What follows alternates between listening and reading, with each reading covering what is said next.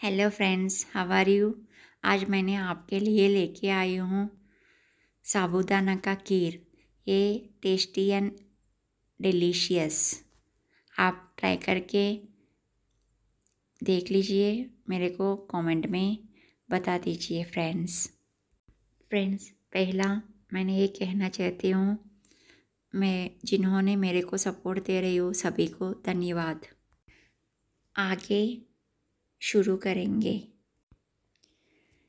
इसके लिए मैंने एक पाव कप साबुदाना लेके उसको एक बार वॉश करके मैंने चार कप पानी डाल के सोक कर दिया था फ्रेंड्स उसको एक घंटा साइड पे रख दीजिए।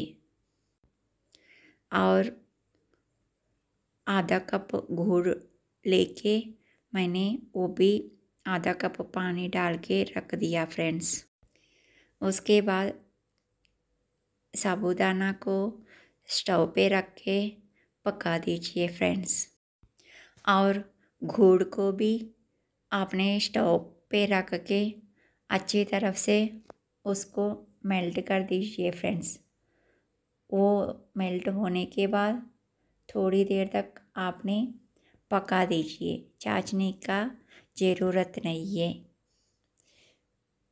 फिर उसके बाद एक छोटा कढ़ाई लेके उसमें जो मर्ज़ी आपको पसंद वाला ड्राई फ्रूट्स डाल के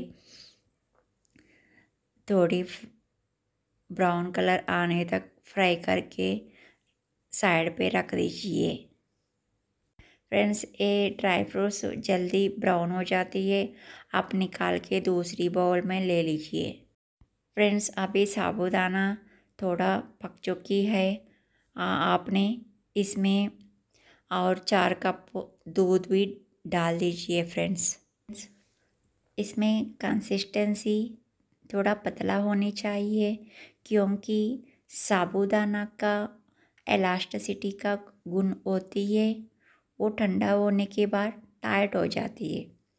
इसलिए आपको थोड़ा गाढ़ा है तो और दूध भी डाल सकते हैं। फ्रेंड्स अभी साबुदाना अच्छी तरफ़ से पक हो चुकी है। आपने आधा कप सेव लेके उसमें डाल के उसको उबाल दीजिए।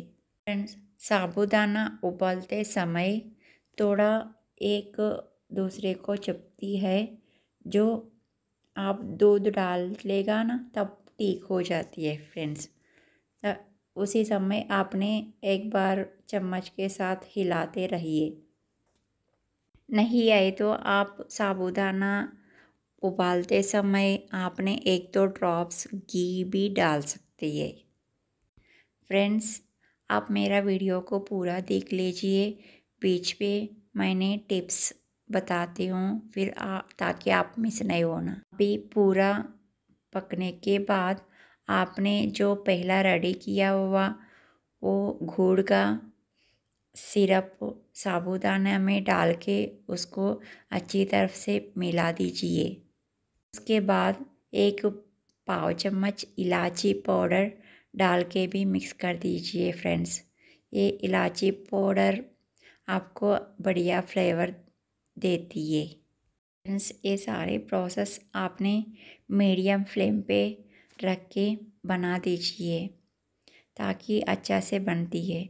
अभी आपने ड्राई फ्रूट्स भी डाल दीजिए फ्रेंड्स अभी उसको भी अच्छी तरह से मिला दीजिए फ्रेंड्स फ्रेंड्स बस आमी आमी, साबुदाना का खीर आपको तैयार हो गया।